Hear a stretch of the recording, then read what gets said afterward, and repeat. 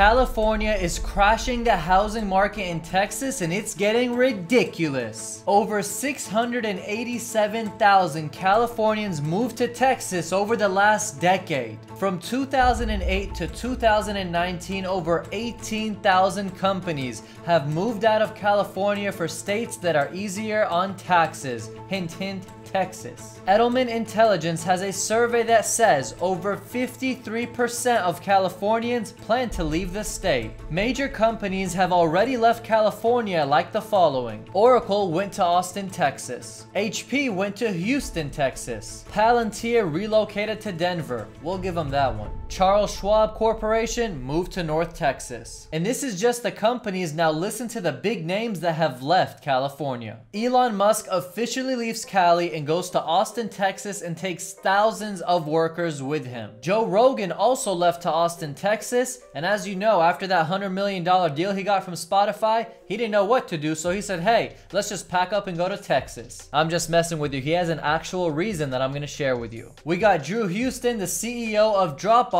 also moving to Austin, Texas. We also have Tim Ferriss, Ben Shapiro, Kanye West, and even Graham Stephan all of them left California. Now, do you know why Elon Musk left California? His biggest reason to leave California was freedom. Can you imagine living in a state that you don't actually feel freedom? Also, aside from that, when the pandemic got real bad and there were lockdowns and shutdowns, Elon Musk decided he's gonna go open his factory and man did he get some backfire from some politicians. We have Lorena Gonzalez who made a tweet cursing out Elon Musk whenever he did that. But there's much more behind the scenes on why Elon Musk left, but overall, he wanted more freedom. Now, do you know why Joe Rogan left California? AKA the $100 million man. He said, and I quote, I just want to go somewhere in the center of the country, somewhere it's easier to travel to both places, and somewhere where you have a little bit more freedom. More freedom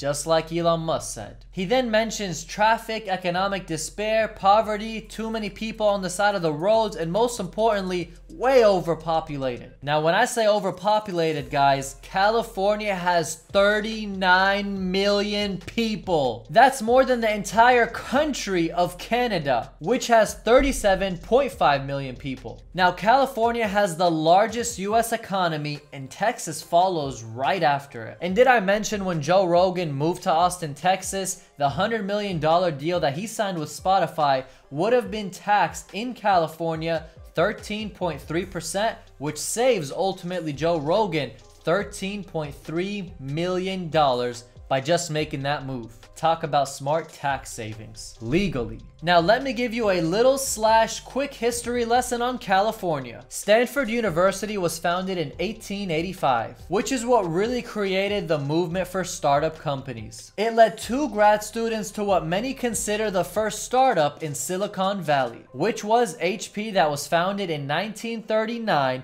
that many of you guys know as your computer or laptops, the tech company. Now Silicon Valley had $65.6 billion in venture capital VC investments in 2019. That was by far, by far the highest VC investment in any state. Now here's a story on San Francisco, San Fran. It is expensive, so expensive beyond means, so expensive that people making over $150,000, you'll see them on the side of the road sleeping in their vans. The median home value in San Francisco is about $1.4 million. dollars. Now we're not talking about a nice house like Texas. We're talking about a small condo, something squishy, something you're really not that happy for. Now, the average price for renting is $3,500 a month, and guess what? You're also getting a one bedroom, one bathroom, and you're not that happy about it either. Running those numbers, if you wanted to hire someone, you need to pay them easily over six figures.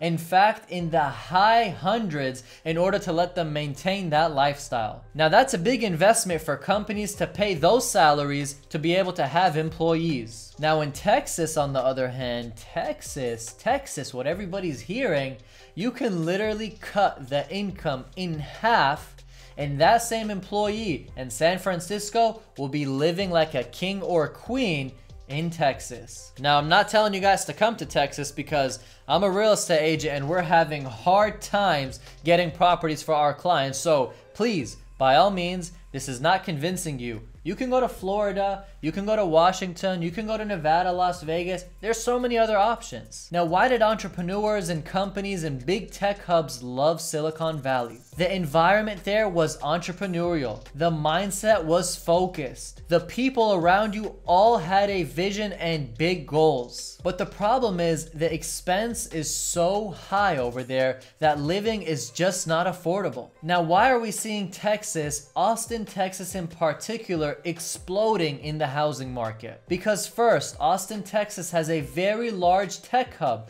On top of that, it has a very strong startup community and things are looking very good for Austin, Texas. So people from California, from San Francisco, they're looking down at Austin, Texas saying, hmm, cheaper to live, the same environment, why am I over here in San Francisco living like I'm broke when I can go to Austin, Texas living like I'm rich? Now, CNBC measures states on 60 different metrics in 10 key categories of competitiveness. Listen to this. In 2019, Texas, Virginia, and North Carolina took the top three spots. Cali came in the 32nd and it came in last when it came to the cost of doing business. As we all know, doing business in Cali is not cheap whatsoever. When it comes to tax structure of doing business, the Tax Foundation ranks California at the bottom, with only New Jersey ranking lower. Can you believe California's income tax is 13.3% for the high earners? Joe Rogan's $100 million